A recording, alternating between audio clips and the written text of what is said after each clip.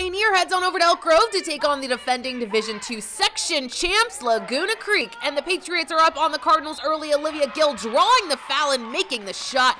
Then the Pats pass around the perimeter. Naomi Navarro, Maggie Azevedo, Ava Contreras, the long jump shot makes it 6-1 Pioneer.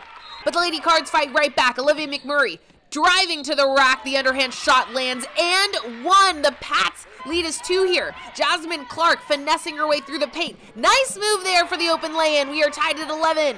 But Pioneer pounces back on top. Beautiful dish from Keziah Maldonado Lemus. Danica Hagle with the finish. It's 13-11 Pioneer after one.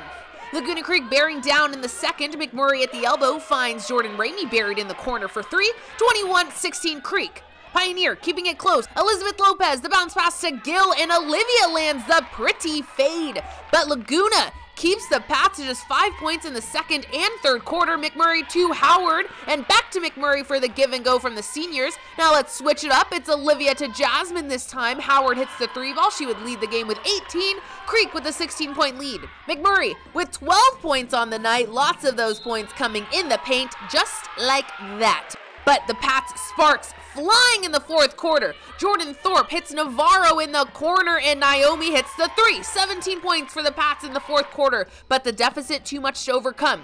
Patriots with the steal, but Kimora Batiste with the denial. Laguna Creek improves to 2 and 1 on the season with the 15 point win over Pioneer. Howard leading with 18.